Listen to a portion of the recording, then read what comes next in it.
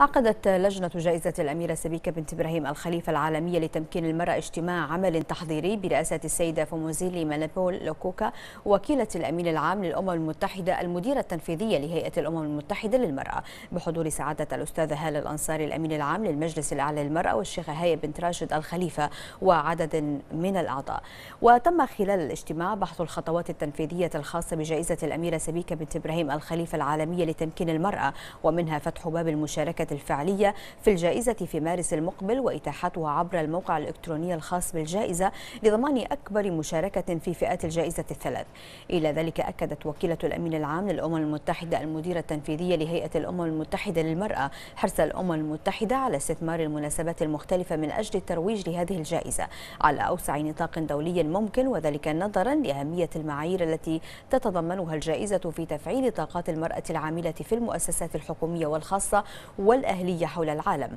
وأشارت إلى أن هذه الجائزة تعد نافذة لإطلاع العالم على جانب من تجربة مملكة البحرين الثرية في مجال تقدم المرأة خاصة بالنسبة للدول ذات الظروف المشابهة.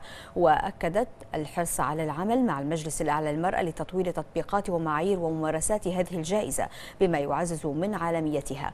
هذا وتهدف جائزة الأميرة سبيكة بنت إبراهيم الخليفة العالمية لتمكين المرأة إلى بيان أهمية وتأثير التزام الدول والهيئات والمنظمات من خلال أجهزتها التشريعية والتنفيذية العامة والخاصة والمجتمع المدني بسياسة عدم التمييز ضد المرأة وتحقيق تكافؤ الفرص بين المرأة والرجل على مختلف الأصعدة.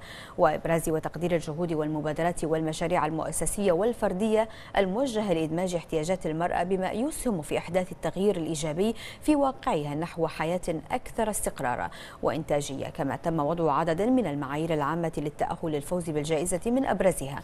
ابتكار منهجيات وسياسات علمية لسد الفجوات لصالح المرأة في مختلف القطاعات واستدامة تطبيقها والمساهمة في تقديم الخيارات والخدمات النوعية لمختلف الفئات العمرية من النساء بما يدعم سياسات ومنهجيات تمكين المرأة وتكافؤ الفرص وتحقيق التوازن بين الجنسين وتعزيز مشاركة النساء والأخذ بتوجهاتهن ودراسة احتياجاتهن في كافة مراحل التخطيط والتنفيذ والتقييم وتمكين النساء من تولي المناصب القيادية واستدامة تواجدهن في موقع صنع القرار واتخاذه.